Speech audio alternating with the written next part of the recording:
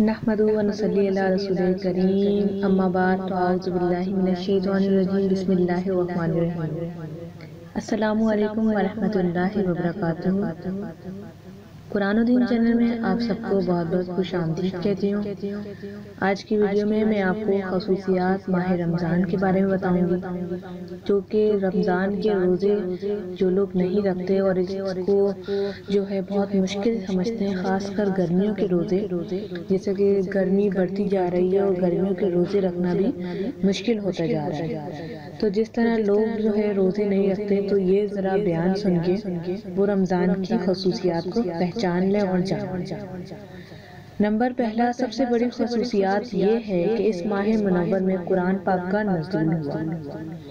دیکھیں قرآن پاک جس مہینے میں نازل ہوا جو ہمارے لیے راہ راست ہے ہمارے لیے جو ہے ایک ایسا اللہ تعالیٰ نے ہمارے لیے قرآن پاک اتار دیا ہے کہ ہماری ساری زندگی کی اس کے اندر ایک ایک چیز لکھی ہوئی اور سب سے بڑی بات کہ اللہ تعالیٰ نے خود کلام فرمایا ہے ہم سے، قرآن کے ذریعے۔ تو اس کا اترنا اس مہینے میں یہ مہینے کو بہت ہی افضل بنا دیتا ہے۔ دوسری بات، پہلی جو آسمانی کتابیں آئی تھیں، اس ماہ میں نازل ہوئی۔ یعنی کہ الگ الگ دیش کے اندر کوئی نہ کوئی کتاب نازل ہوئی ہے آسمانی۔ آسمانی کتابیں آپ کو معلوم ہے، چار آسمانی کتابیں ہیں۔ تو چاروں رمضان کے مہینے میں ہی نزول ہوا ہے ان کا۔ نمبر تھری ہے، رمضان کے پرنور راتوں میں قیام کرنا تراوی اور نماز با جماعت کا اہتمام کرنا بہت ہی اچھا پایا جاتا ہے۔ اب راتوں میں قیام کرنا سے مراد یہ ہے کہ آپ جب عشاء کی نماز کے بعد فارغ ہوتے ہیں، تو تھوڑی دیر جو ہے آپ آرام کر لیں اور اس کے بعد جو ہے آپ اپنے جو عبادات ہے اس میں مصروف ہو جائیں۔ جیسے تحجد وہ تو آپ نے بالکل پورے رمضان نہیں چھوڑنی۔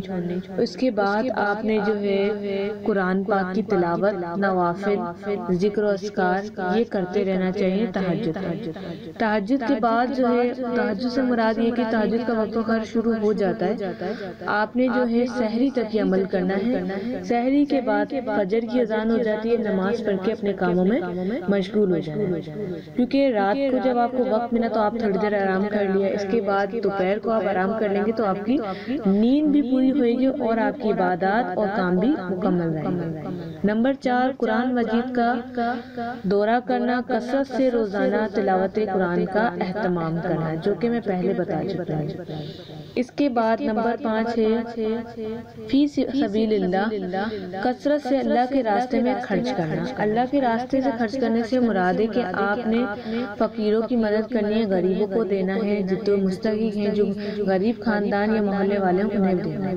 نمبر چھ، رمضان میں سب روزے رکھنا اور نماز کا اہتمام کرنا اور باہمی پیار، محبت اور اجتماعی نوعیت کا مظاہرہ کرنا۔ محبت بھی آپ نے رکھنی رمضان کے تمام روزے رکھنے اور اس کے علاوہ جو ہے، آپ نے جھگڑنا نہیں ہے لڑنا نہیں ہے اور اہتمام کرنا۔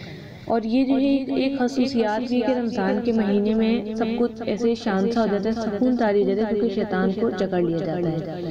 نمبر سات کی طرف چلتے ہیں رمضان کو یہ خصوصیات حاصل ہے کہ اس میں لیلت القدر جیسی عظیم رات ہے۔ جس میں فرشتے جو ہیں ہمارے لیے بہت سارے نیکیاں لے کر آتے ہیں اور ہمارے نامال لے کر جاتے ہیں جو ہم پوری رات کرتے ہیں۔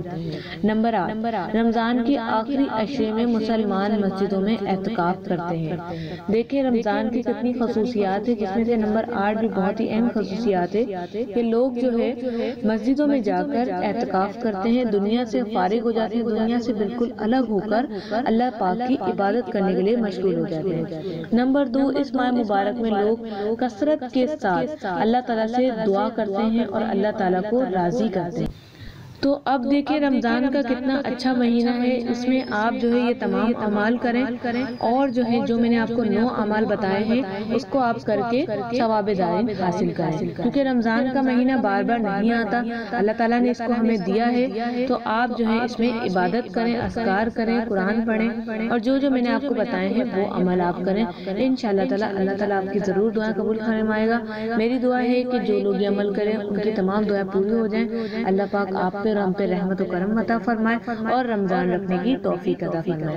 اگر آپ چینل پہ نئے ہیں اور ابھی تک آپ نے میرا چینل سبسکرائب نہیں کیا، تو اس طرح کی چھوٹی چھوٹی اور اچھی ویڈیوز کے لیے چینل کو سبسکرائب کر کر بیل آئیکن کو دبا دیں تاکہ آپ کو لیٹیسٹ ویڈیو ملتی رہے۔ جزاک اللہ، السلام علیکم ورحمۃ اللہ۔